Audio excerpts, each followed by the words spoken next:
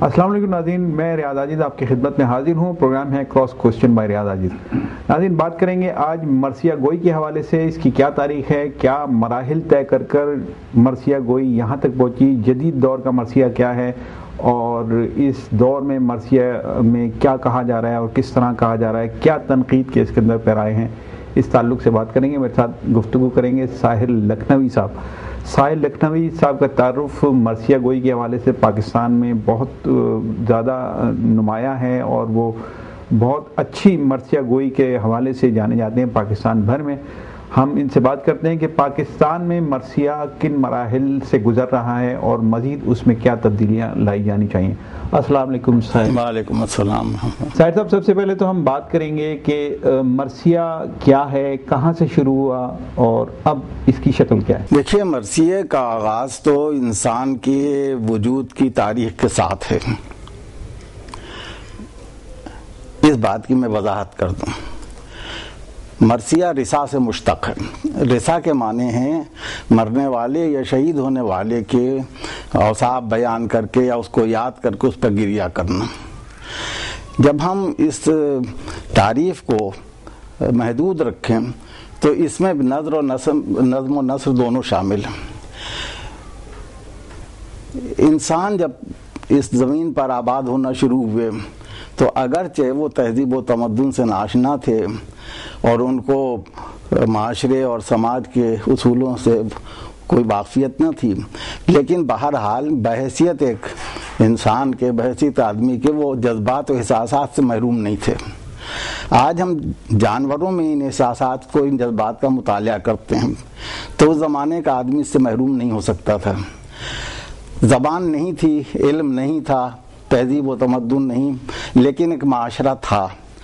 جس میں تعلقات تھے، تعلقات آپس میں نہیں ہوتے تو نسلیں نہ بڑھتی تو ایک دوسرے سے محبتیں اور یہ ایک فطری جذبات تھے جو ہوتے تھے۔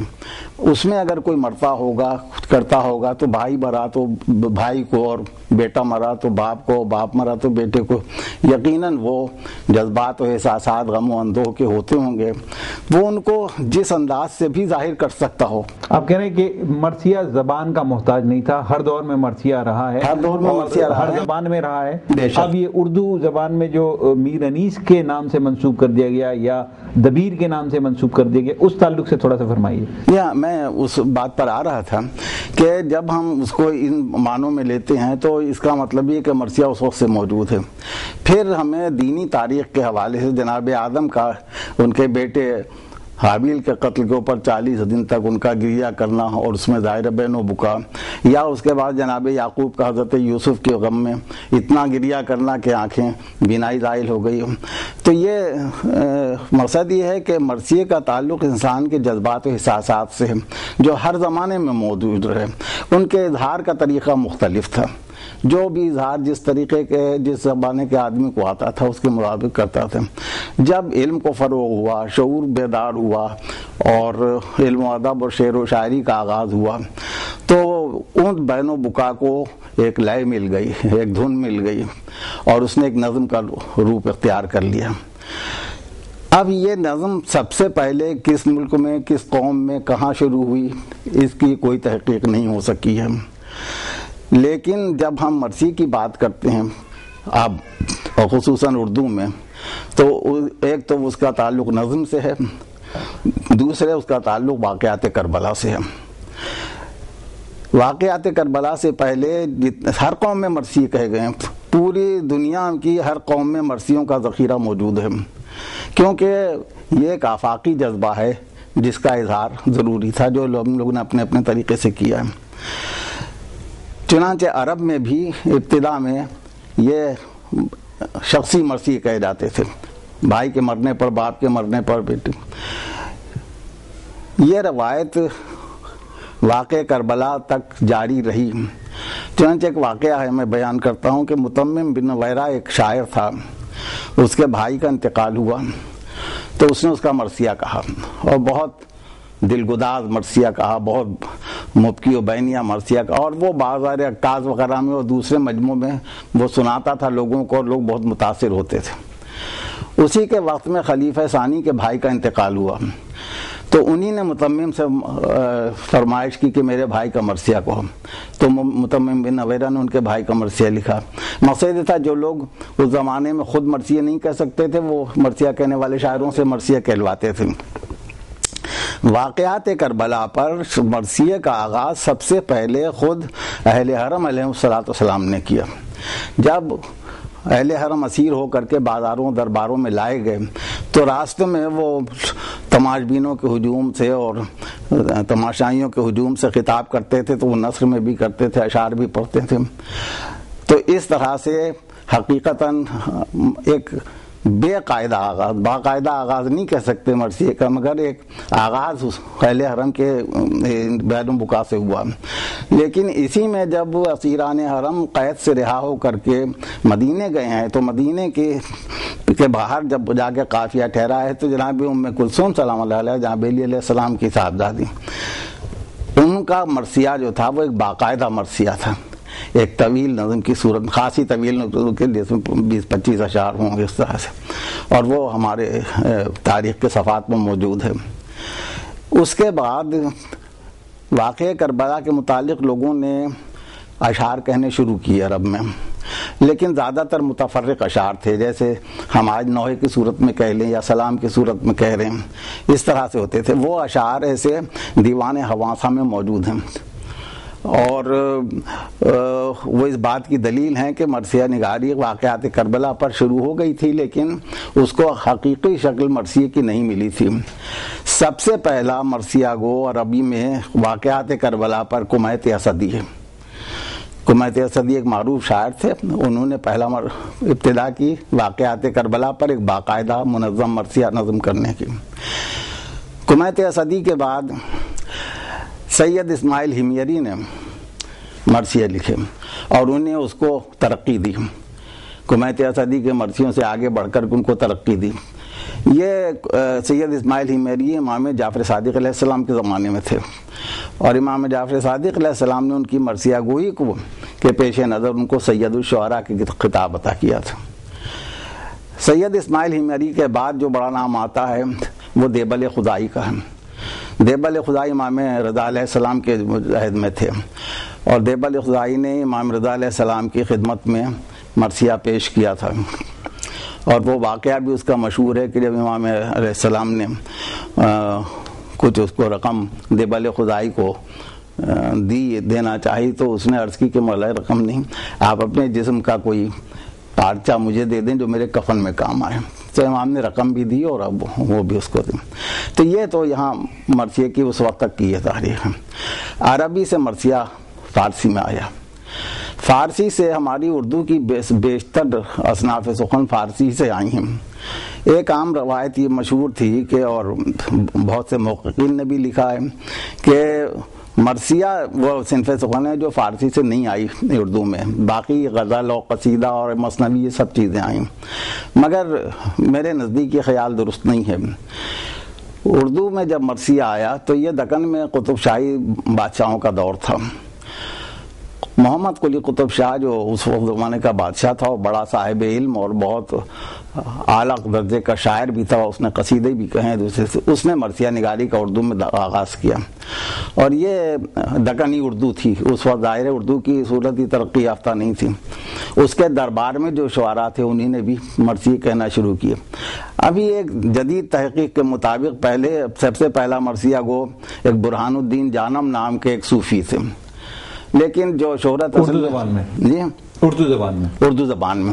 لیکن جو شہرت محمد قلی قطب شاہ کو ہے وہ اپنی جگہ کے اوپر ہے۔ اچھا جب یہ اردو میں مرثیہ یہاں آ گیا اب اس کے بعد جب مرثیہ تب آگے بڑھنا شروع ہوا۔ اچھا یہ جو مرثیہ قطب شاہ کے حوالے سے آپ کہہ رہے ہیں اس کا تعلق کربلا کے واقعہ کربلا کے واقع ہم واقع کربلا۔ تو جو مرثیہ فارسی سے اردو میں آیا تھا وہ فارسی انداز ہی کے مرثیے تھے یعنی ان میں صرف بیان مصائب ہوتا تھا۔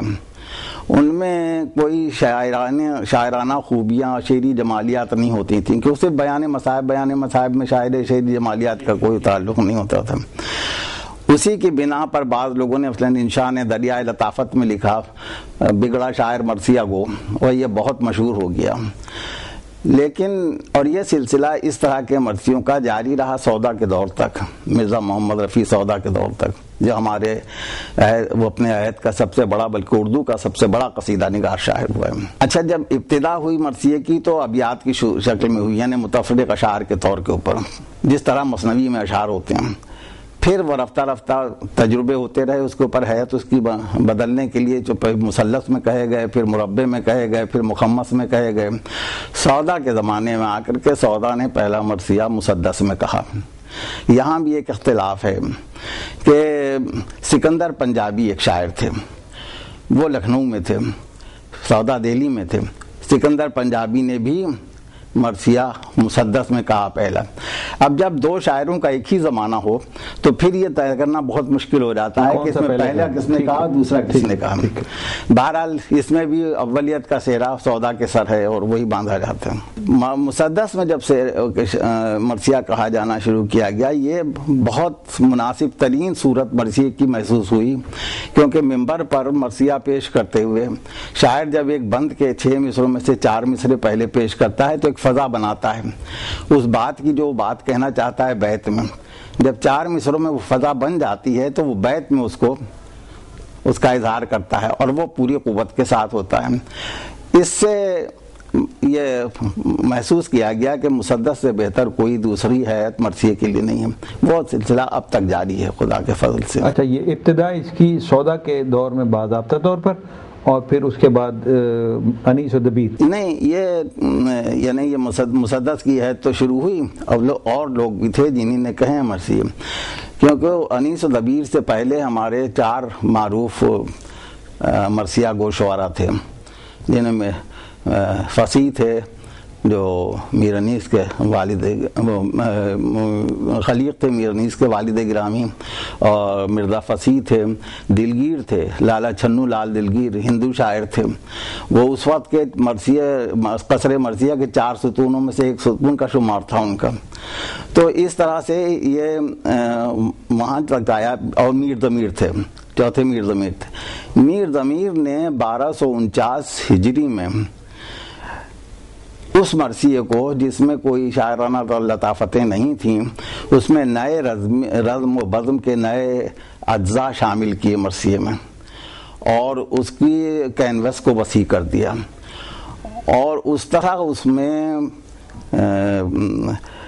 مختلف اصناف سخن جو ہیں، ان کا رنگ مرثیے میں سما گیا۔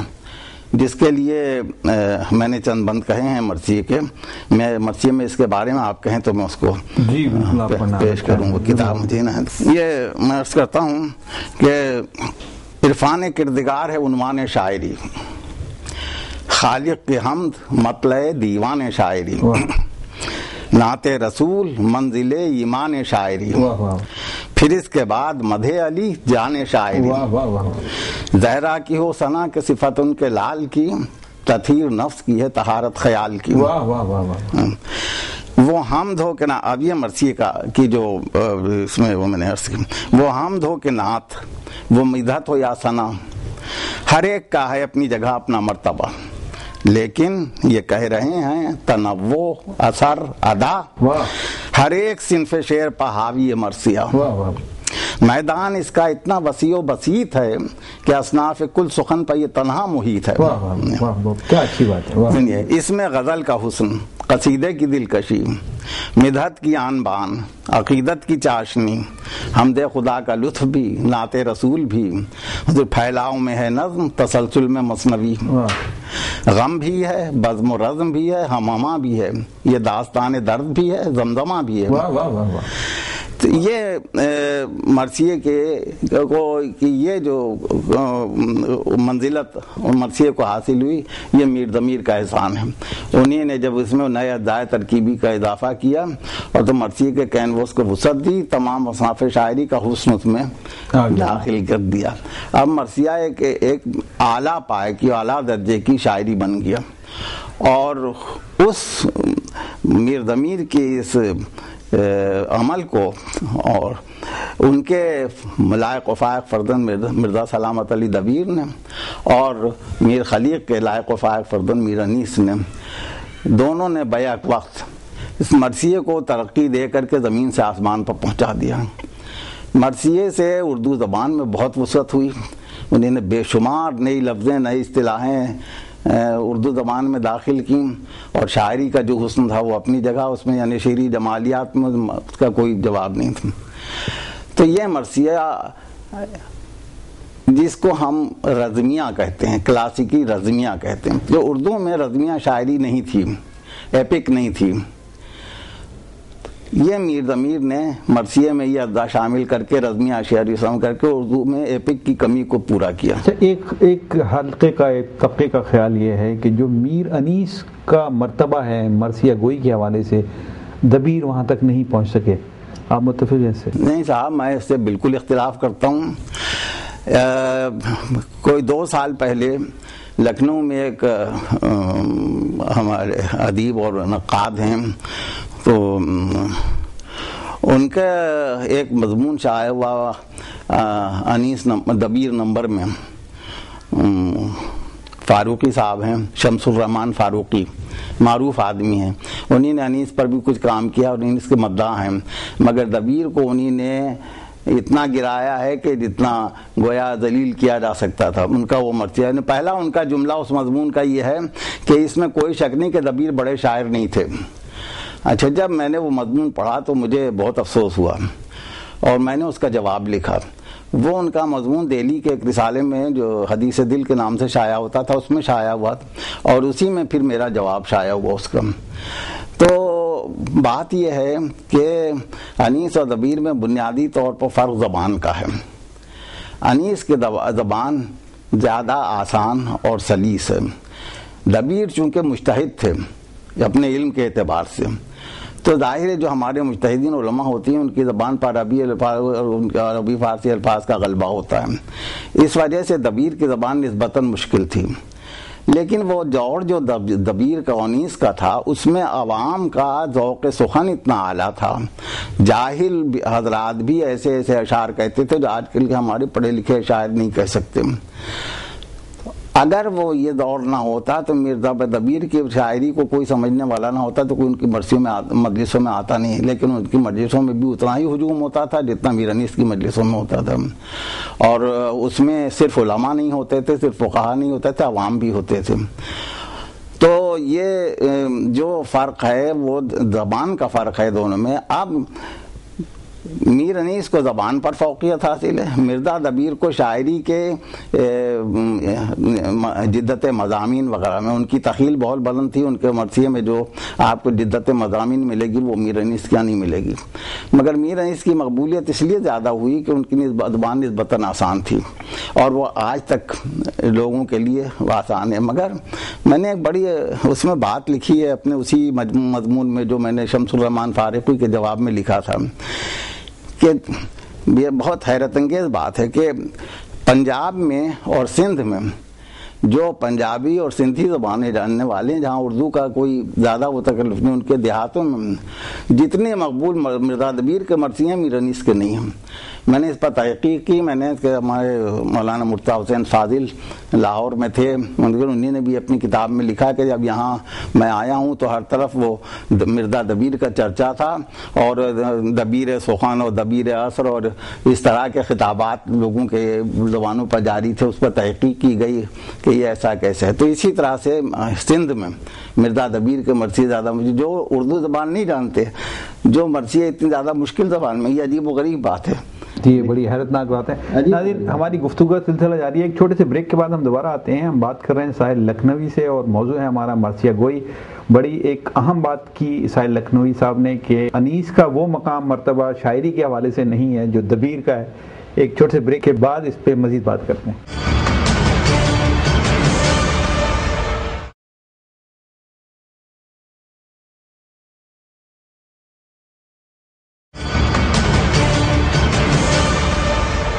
میں ایک دفعہ پھر آپ سب کا خیر مقدم کرتا ہوں۔ میری بات ہو رہی ہے مرثیہ گوئی کے حوالے سے اور میرے ساتھ مہمان ہیں۔ ساحل لکھنوی صاحب بڑی اہم بات۔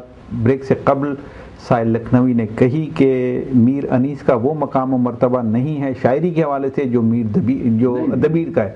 تو میں مزید اس بات کو آگے بڑھاتا ہوں۔ جی سر آپ نے ابھی فرمایا کہ جو شاعری کا لطف جو شاعری کا حسن دبیر کی کے پاس ہے وہ میر نہیں نہیں میں نے میں نے یہ نہیں عرض کیا۔ میں نے کہا کہ میری انیس کی مقبولیت کا سبب ان کی زبان آسان ہونا ہے۔ مرزا دبیر کی یہاں شاعری میں جدت جدت مضامین زیادہ ہے۔ ہاں،۔ اس سے مرتبے میں فرق نہیں پڑتا۔ مرتبے کا فرق اچھا رنگ الگ الگ۔ رنگ الگ اچھا رنگ یہ بتائیے کہ اگر اگر میں آپ سے کہوں کہ ایک موازنہ کیجیے آپ اور آپ مقام دیجیے کس کو کیا دیں گے آپ تو کیسے آپ میں بالکل؟ کہتا ہوں دونوں خدائے سخن تھے۔ دونوں شاعر اعظم تھے۔ دونوں میں میں کسی کو ایک کو دوسرے پر ترجیح نہیں دیتا، کیونکہ دونوں کا رنگ الگ الگ ہے۔ اگر مثلا دونوں انیس اور دبیر ایک ہی رنگ میں کہتے تو اس وقت آپ کہہ سکتے تھے کہ ان کی زبان بہتر ہے یا ان کی زبان بہتر ہے۔ یا دونوں صنعتوں کے استعمال میں جی، جی، جی، جدت مضامین میں ایک ہی طرح کا رویہ رکھتے ہیں۔ تو اس وقت ہو سکتا وہ دو الگ الگ تھے ان کا رنگ الگ الگ ہے، لیکن فنی اور فکری اعتبار سے اور اپنے شاعرانہ عظمت کے اعتبار سے دبیر ہونی اس میں میں کوئی فرق نہیں اچھا کرتا۔ ٹھیک میں اگلا سوال میرا یہ ہے کہ سر یہ فرما دیجیے کہ کربلا کے واقعات رقم کیے گئے ان مرثیوں میں۔ کہیں کہیں لوگوں کا یہ کہنا ہے کہ مبالغہ آرائی بہت زیادہ ان مرثیوں میں دونوں میں دبیر کے یہاں بھی اور انیس کے یہاں بھی بہت زیادہ مبالغہ آرائی بہت زیادہ ایسے واقعات رقم کیے گئے کہ جن کا وجود ہی نہیں تھا۔ یعنی آپ کی بات واضح نہیں ہے۔ مبالغہ رائے کس اعتبار سے دیکھیے دو چیزیں ہیں مرثیے کے دو جز ہیں۔ ایک جز وہ ہے جو چہرہ ہے۔ چہرے میں جو مضامین نظم کیے جاتے ہیں، اس زمانے میں عام طور پر قدرتی مناظر نظم کیے جاتے ہیں، تو صبح کا شمع گرمی کا زمانہ، اس طرح مثال کے طور پہ دیکھیں نا، ایک ایک میں عرض کروں کہ مہندی کی ایک رسم ہے۔ جس کا ایک تاریخ ہے اور تاریخ میں بعض مورخین کا یہ بھی کہنا ہے کہ مہندی کی رسم کا کوئی تعلق نہیں ہے کربلا کے واقعات سے یا کربلا عرب کے کلچر سے۔ تو یہ اس طرح کی چیزیں اس میں آئیں تو یہ مبالغہ رائی نہیں آپ سمجھتے؟ وہ وہ میں عرض کر رہا ہوں۔ دیکھیے یہ اعتراض بہت پرانا ہے مرثیے پر کہ انیس و دبیر نے مرثیے میں لکھنؤ کے معاشرے کو دکھایا ہے۔ اور جس کا تعلق عرب معاشرے سے نہیں تھا۔ یہ موضوع ہے جس پر میں نے اپنی اس کے اپنے اس مقالے میں مرثیے پر اعتراضات کے تنقیدی جائزہ اس میں میں نے پوری بحث کی ہے۔ اور اس کے حوالے سے میں یہ عرض کرتا ہوں کہ جو ہمارے وہ ناقدین حضرات، جو عرب، جو انگریزی ادب سے بہت زیادہ متاثر ہیں۔ ان کو بھی اس بات کا علم ہے کہ ہمارے بعض عرب جدید جو انگریزی کے نقاد گزرے ہیں، انہوں نے بھی یہ بات کہی ہے کہ رزمیے میں مرثیے جیسی نظم میں ضروری ہے کہ آپ اس کو اپنے دور کے حالات کے پس منظر میں پیش کریں۔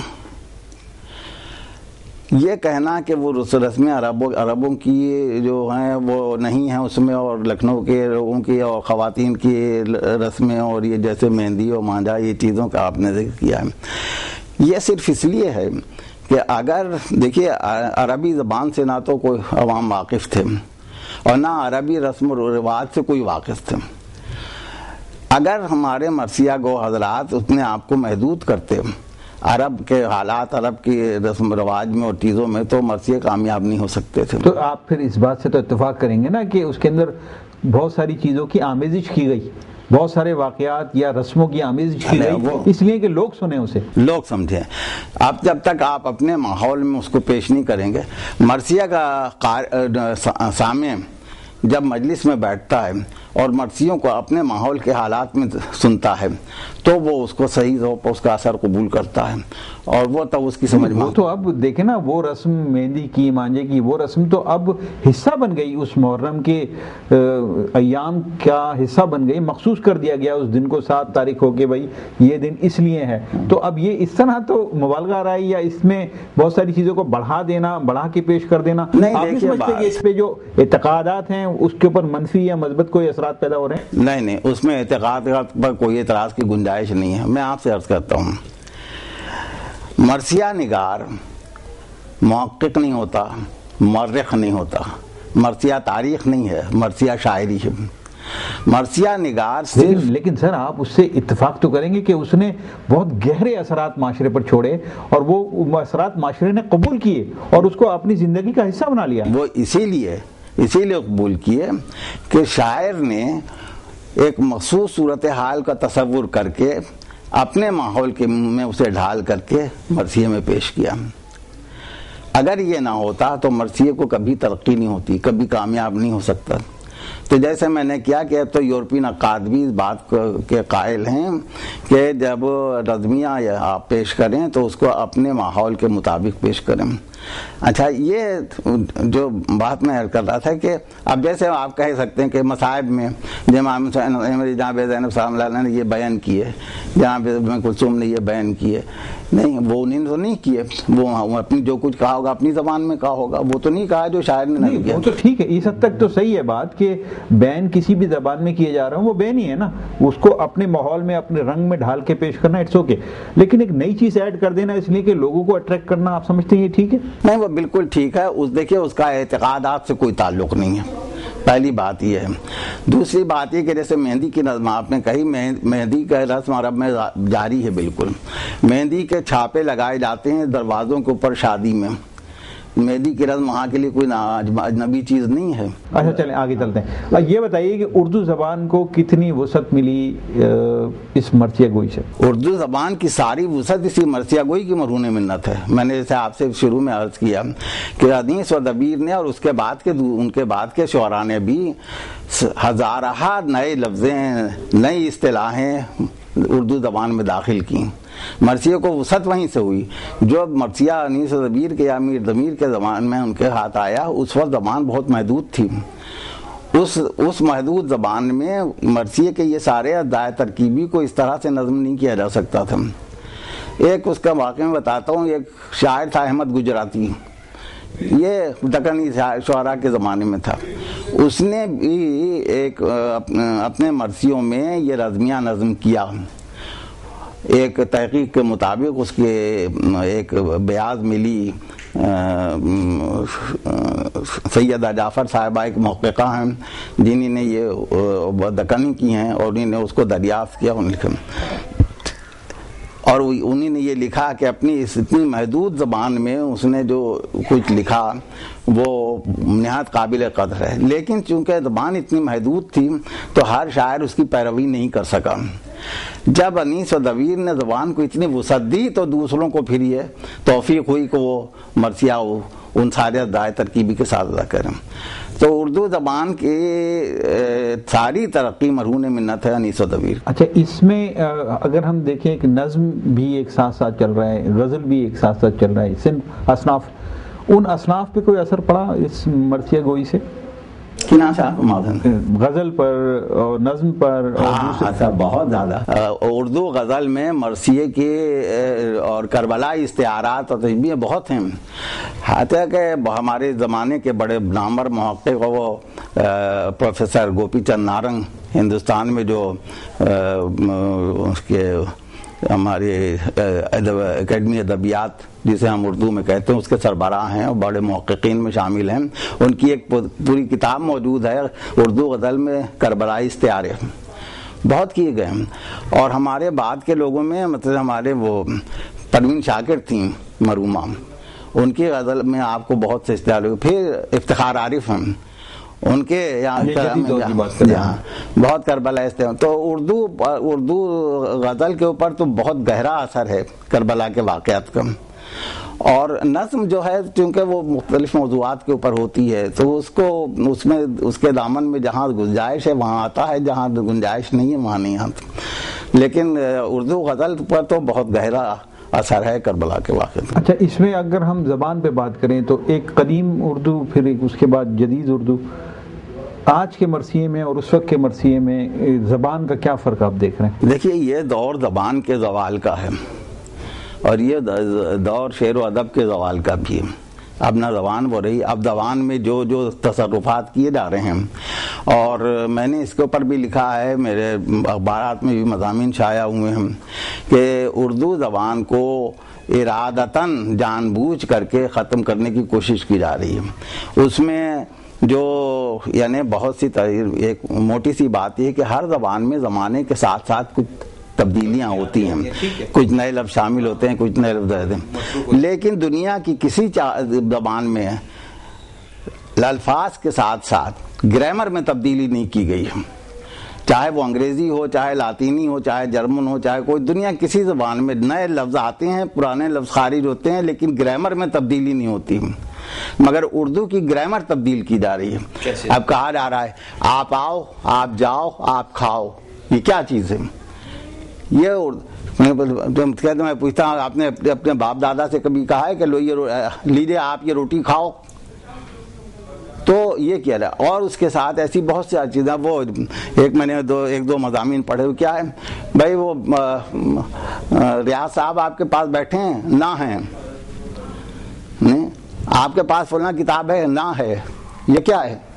یہ گرامر چینج کی جا رہی اور یہ گرامر چینج کرنا بالکل یہ صاف طور پر واضح کرتا ہے کہ اردو کو ختم کرنے کی کوشش کر کے ایک نئی لسانی ثقافت جاری کرنے کی کوشش کی جا رہی ہے نہیں، وہ تو دیکھیں نا، ہم جب سعودی عرب کا کلچر دیکھیں یا یو اے کا کلچر دیکھیں، تو وہاں ایک مکس زبان بولی جاتی ہے، جس میں اردو بھی شامل ہوتی ہے، ہندی بھی شامل ہوتی ہے، اس میں شاید پنجابی کا بھی تھوڑا سا تھوڑا سا اس میں چٹخارے ہوتے ہیں، تو وہ ایک نئی چیز بنتی ہے۔ پھر وہ چیز پھر پاکستان میں آ رہی ہے، وہی چیز انڈیا میں جا رہی ہے، وہ تو زبان، زوال پذیر ہے یا اس میں تبدیلیاں روح پذیر ہو رہی ہیں؟ کوئی تبدیلی، زوال پذیر ہے۔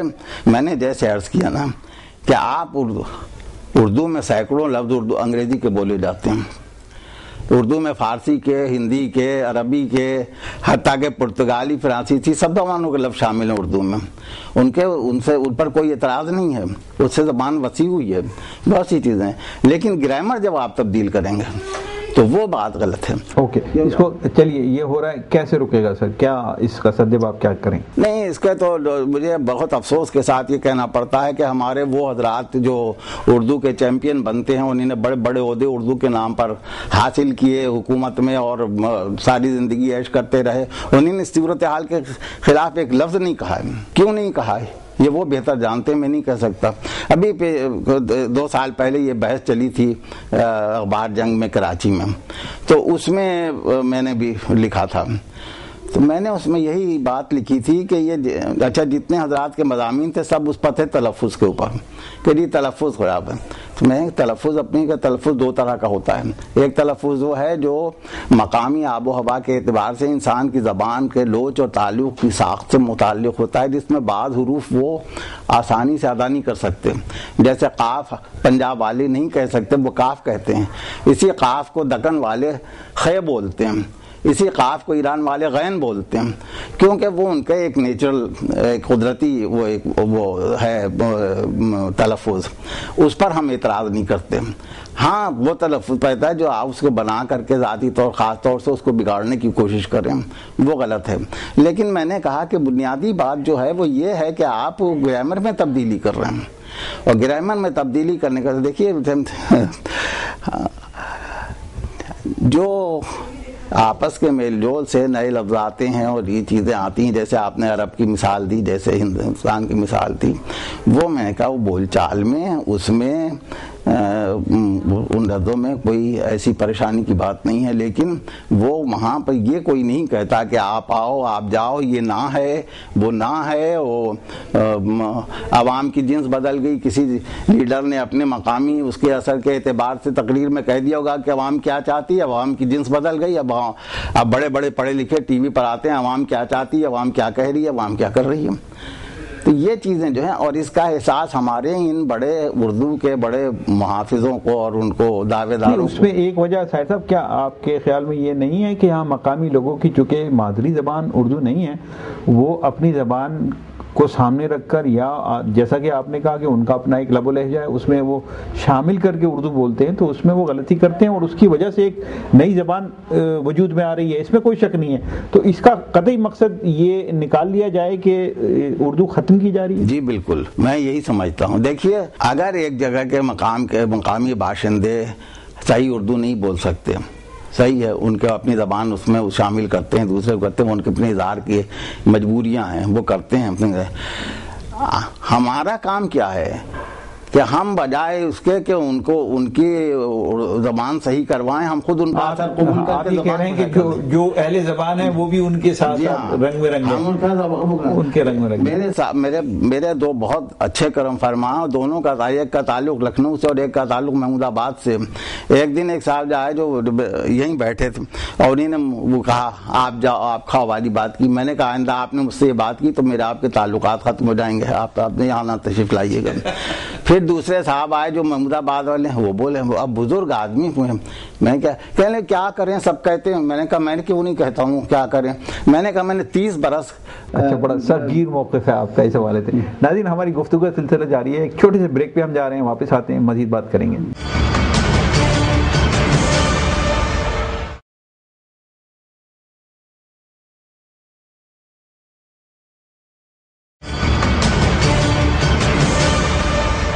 میں ایک دفعہ پھر پروگرام میں آپ کا خیر مقدم کرتا ہوں۔ میرے ساتھ موجود ہیں ساحل لکھنوی صاحب۔ بات ہو رہی ہے مرس- مرثیہ گوئی کے حوالے سے، لیکن اس سے قبل تھوڑی سی بات زبان کے حوالے سے بھی ہوئی اور بڑا سخت موقف اختیار کیا ساحل لکھنوی صاحب نے کہ جو اہل زبان ہیں، کم سے کم ان کو دوسرے لوگوں کی اصلاح کے بجائے انہی کے ساتھ نہیں رنگ میں رنگ جانا چاہیے اور اپنی بھی اصلاح کرنی چاہیے اور دوسروں کی بھی کہ اصل زبان کیا۔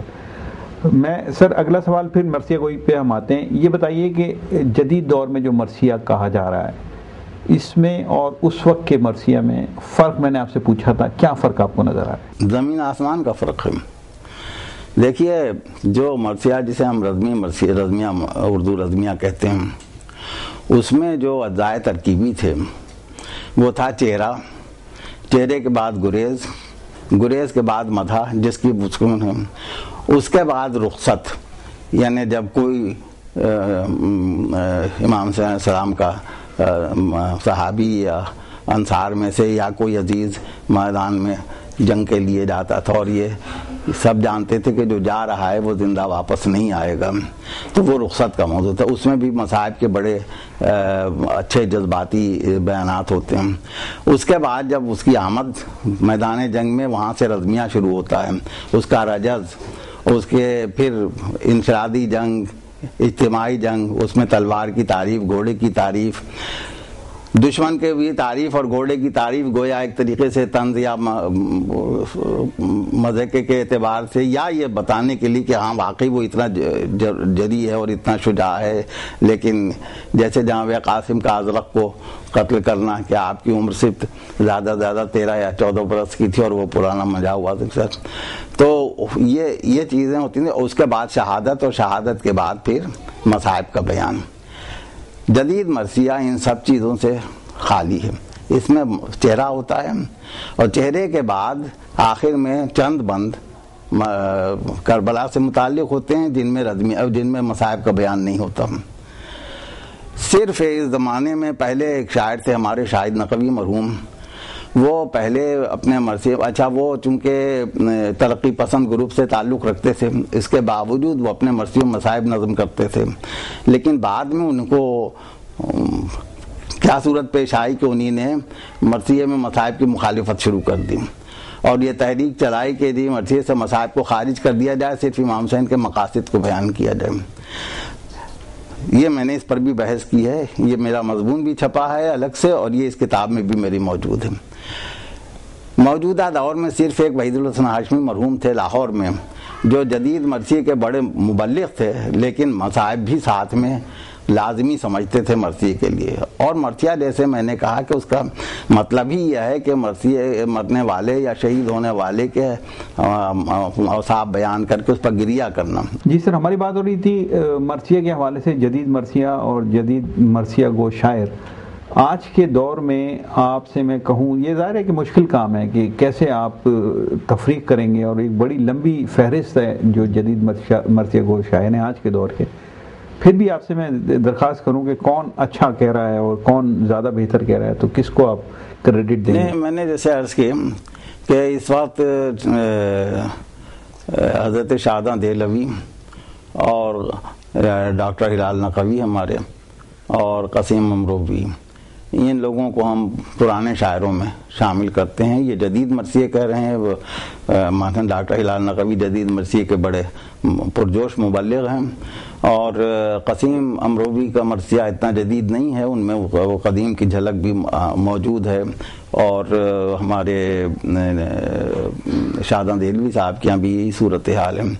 لیکن نئی پود کے جو شعراء مرثیے کہہ رہے ہیں اور ان میں ریحان اعظمی ہیں اور ستارہ زبد ہیں اور شاعر حسین شاعر ہیں اور جی ہاں وہ متعدد لوگ ہیں۔ اچھا اس کے علاوہ جو ہمارے جیسے اقبال کاظمی ہیں اور نیر اسدی ہیں، یہ دونوں بڑی حد تک جدید مرثیے کہہ رہے ہیں، لیکن ان کا معیار بہت اچھا ہے۔ اور یہ نئی رسدی کا معیار بہت اچھا ہے اور وہ صاحب صاحب علم بھی ہیں، مرثیے کے اعتبار، شاعری کے اعتبار سے ان کو فن کا پورا اندازہ ہے۔ یہ تو اقبال کاظمی صاحب ہیں، جو مرثیہ فاؤنڈیشن کے مؤسس ہیں انہیں نے، ان کی بھی شاعری۔ لیکن اب بیشتر نے مرثیے نگاری کم کر دی۔ اور اب جو یہ نئی پود کے شعراء ہیں ان کے اور ان میں جدیدیت کے حوالے سے مرثیے سے بہت سو نے رسا کو ختم کر دیا اور جس جس نظم میں رسا نہیں ہو، میں اسے مرثیہ مرثی کے حصے سے قبول نہیں کرتا۔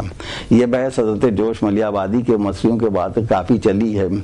اور یہ ایسی، یہ ایسے مسائل ہیں جن میں میرے ہر لفظ کے اوپر اختلاف ہوگا۔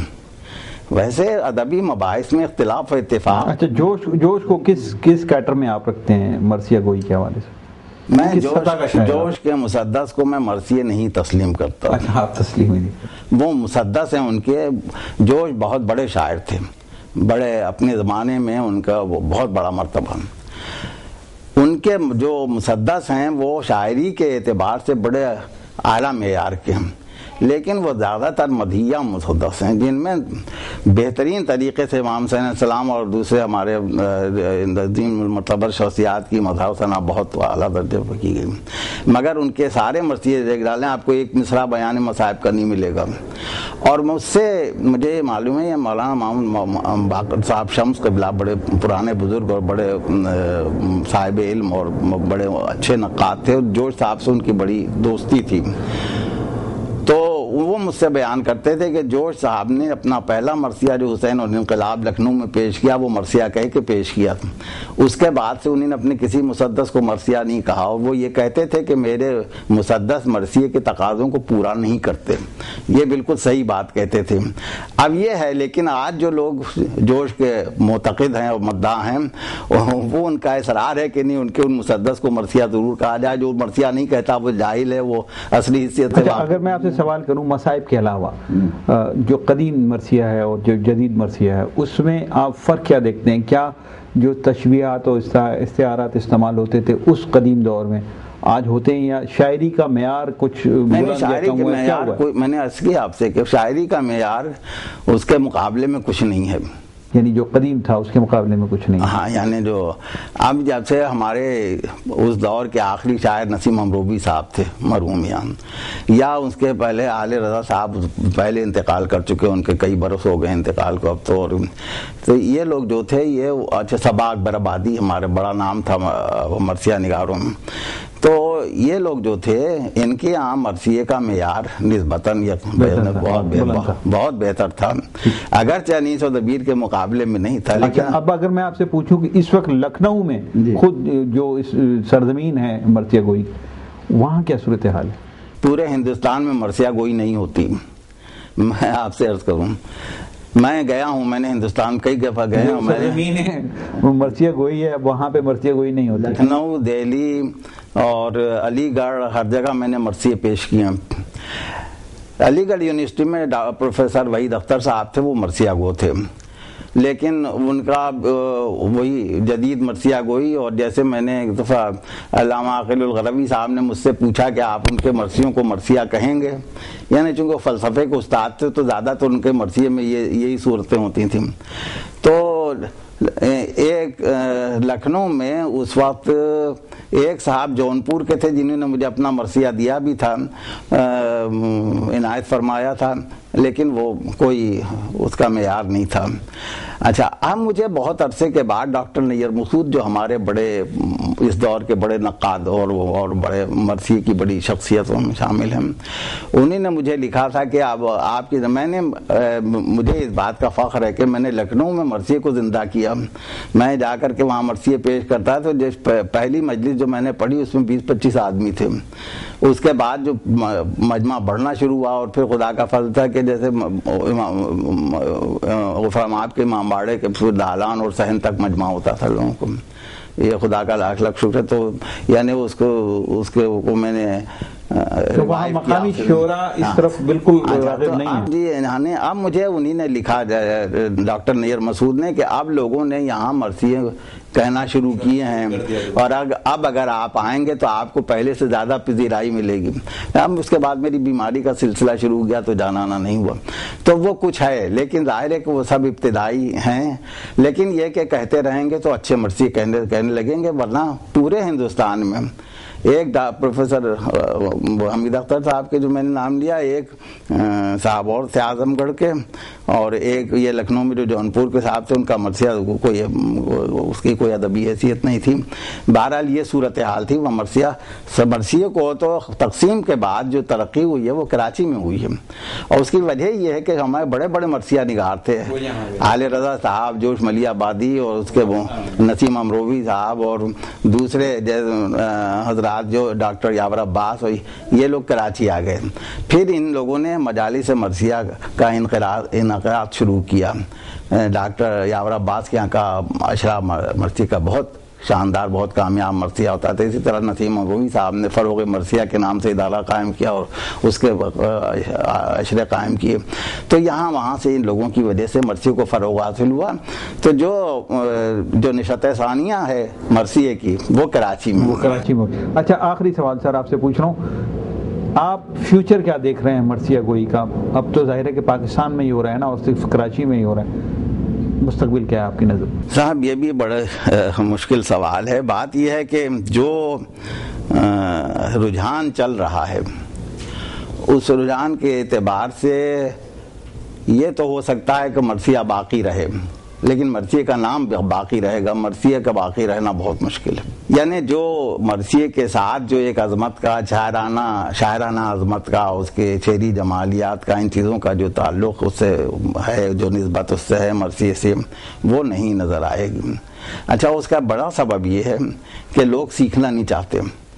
تو کوئی کسی کو یعنی ایک زمانہ تھا کہ اگر کوئی شاعر کسی استاد کا شاگرد نہیں ہوتا تھا تو اسے بے استادہ کہا جاتا تھا اور یہ گالی سمجھی جاتی تھی۔ غالب کا کوئی استاد نہیں تھا، انہیں اپنا فردی استاد بنایا عبد الرحمان نام سے، کیونکہ وہ وہ یہ کوئی بے استادہ نہ کہے۔ آج کسی کا شاگرد ہونا اپنی ذلت سمجھی جاتی ہے۔ یہ یہ میں حقیقت آپ سے بالکل بیان کر رہا ہوں۔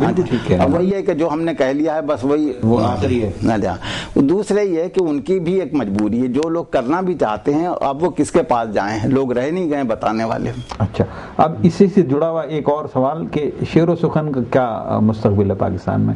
کیا شیر و سخن کا معیار بڑھ رہا ہے؟ کم ہو رہا ہے؟ اس کی جمالیات ختم ہو رہی ہے، کیا پوزیشن کیا ہے؟ شاعری تو اچھا، بہت، اس میں کوئی کمی نہیں ہے، پاکستان میں بھی اور ہندوستان میں بھی۔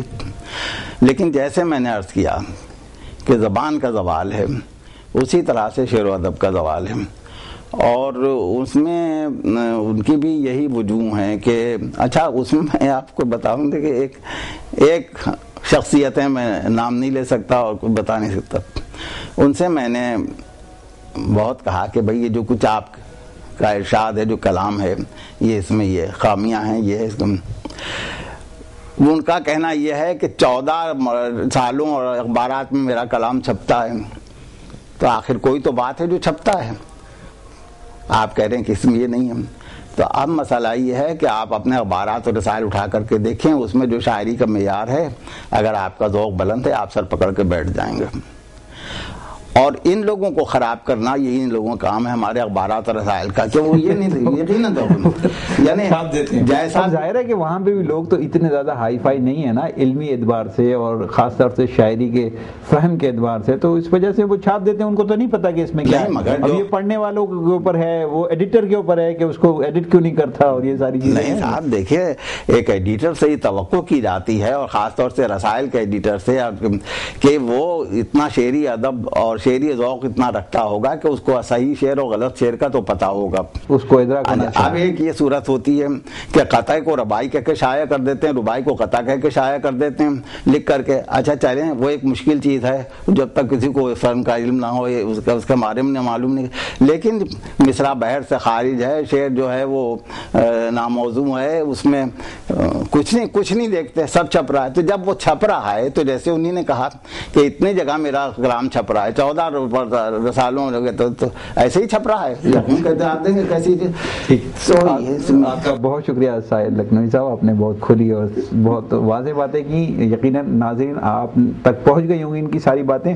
بہت سارے ان کے شکوے بھی ہیں شعراء حضرات سے بہت سارے سچائیاں بھی انہوں نے بیان کی۔ کہیں ان کا موقف بہت سخت بھی آپ کو نظر آیا ہوگا۔ یہ ساری گفتگو میں آپ کے حوالے کرتا ہوں اور میں چاہتا ہوں اجازت۔ اللہ حافظ۔